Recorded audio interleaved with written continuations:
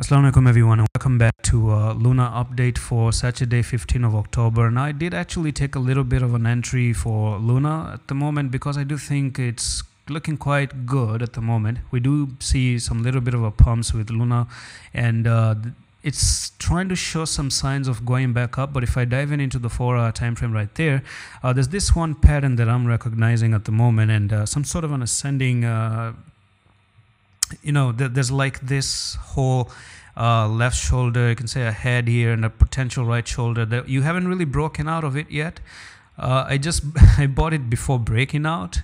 I don't know why I did that, but anyway, it's it was a one percent loss, so I thought, why not? Let's just try our luck. You know, I could have a good luck, and we, we can actually move up.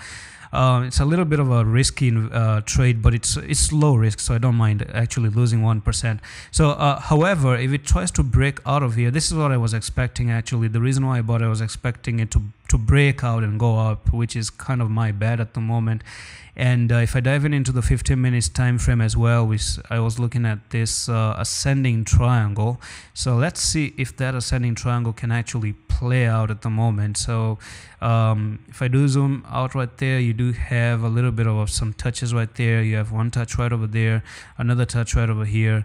And uh, uh, let me just tell you one thing that Bitcoin is looking a little bit ugly. So it, it has been like that. So there are chances you, you just don't break out and continue higher.